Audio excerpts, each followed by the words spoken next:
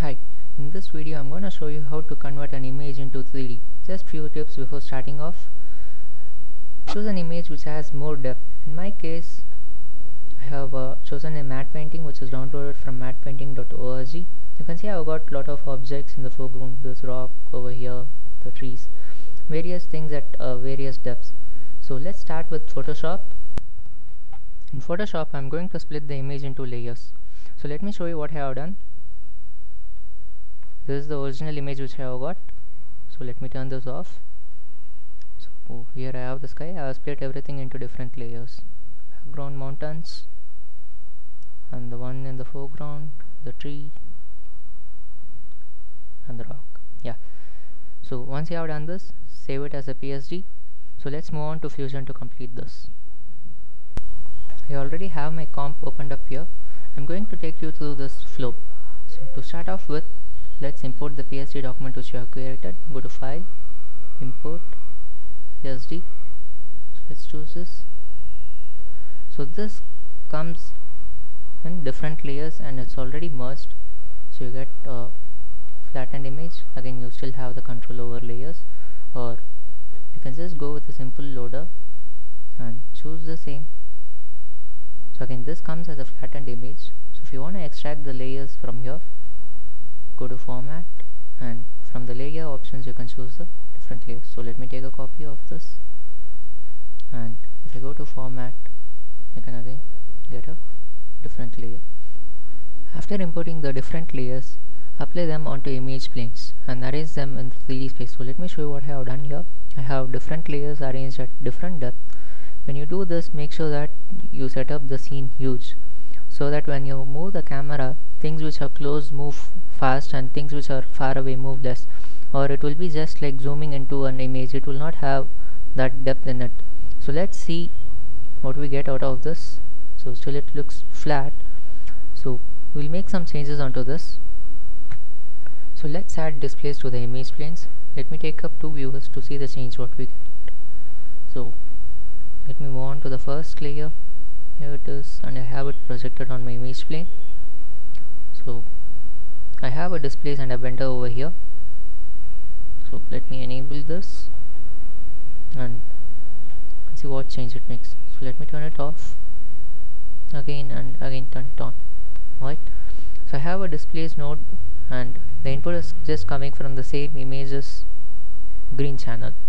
And I have blurred it just to make it little softer make the displacement a little softer. So I have done the same procedure for everything. So I have the next layer over here projected onto the image plane and I have the displacement over here. So let me enable this as well. So you can see the difference. So I have done the same onto this tree as well. Have it on the image plane and I have a displacement over here. So one thing when you do displacement you have to check your image planes subdivision level. You need to have the right subdivision level or it might create a problem. Going through the flow I have the next layer. And I have added few paint nodes here and there. I have my matte is too sharp. So just to soften it I have added some paint nodes over here. And again here I have a displacement. So let me just enable this I can see I have a bump over here.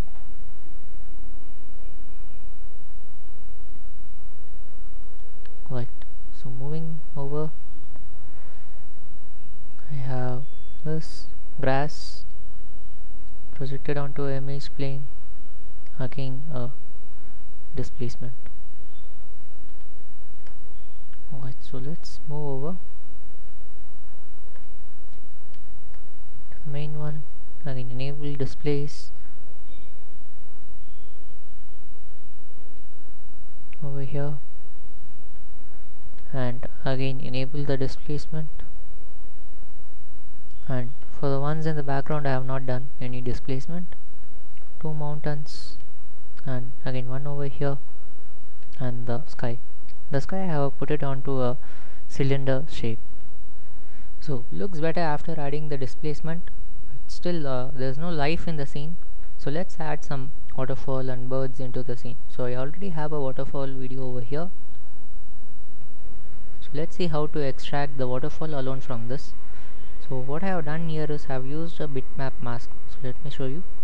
So I have the bitmap and I use the blue channel and adjust the threshold value and I need just the waterfall so I have a poly over here drawn across the waterfall and put it on connect it onto the bitmaps mask input and change the paint mode of the bitmap to minimum.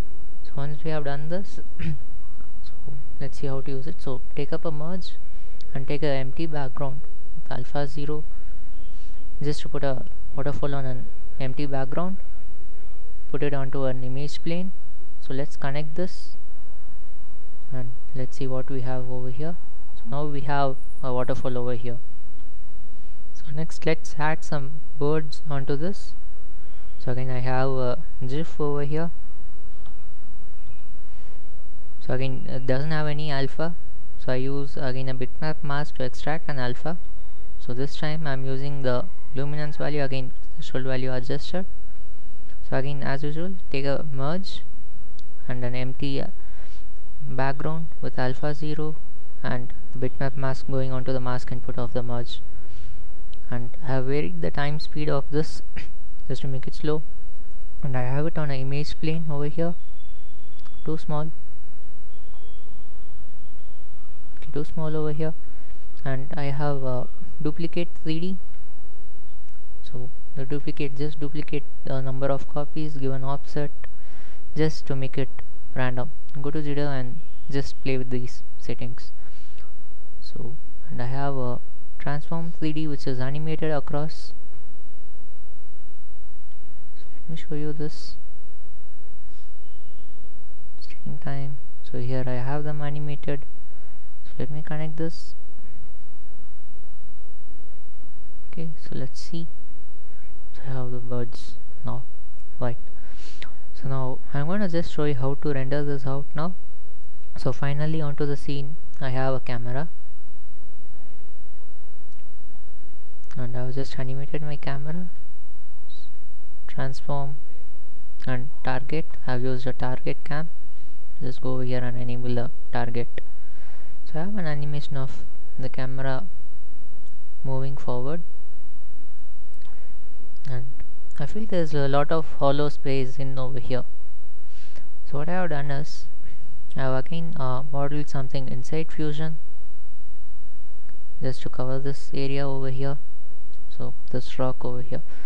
So let's see how to do this. So I have a shape 3D over here which is a plane uh, just adjust the width and height and increase the subdivision level so I don't want to apply texture directly onto this. I want more control over it. So I'm to do a projection onto this. So first let's get it like a rock. So I have a bender. Let's turn on lighting. So I have a bender. And I'll also apply a displacement onto this again. So let's see this. So I have it right and you can play with the fast noise settings to get different displacement.